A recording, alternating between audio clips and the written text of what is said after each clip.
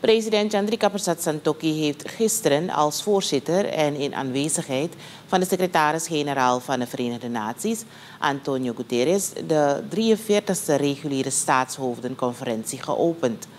De openingsceremonie werd bijgewoond door staatshoofden, regeringsleiders, ministers, diplomaten en functionarissen van regionale instituten. Het werd een culturele opening waarbij alle bevolkingsgroepen van Suriname aanwezig waren. Het staatshoofd gaf in zijn speech aan dat Suriname onderkent dat zij in een vredige zone zit. Wij onderkennen ook dat onze kracht ligt in onze eenheid, zegt Santoki. If we are united, we can build a more substantial influence and decide to influence.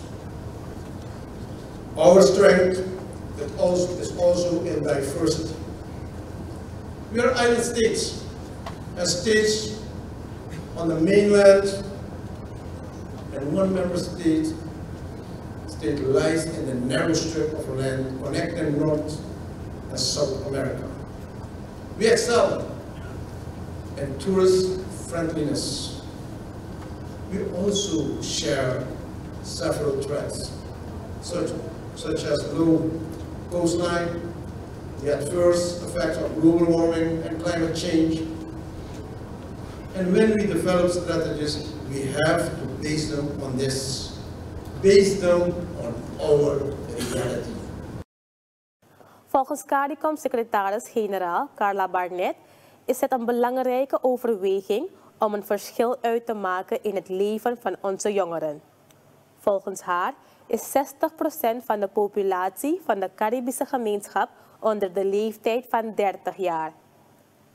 Our young people are central to our efforts at building a sustainable and resilient society.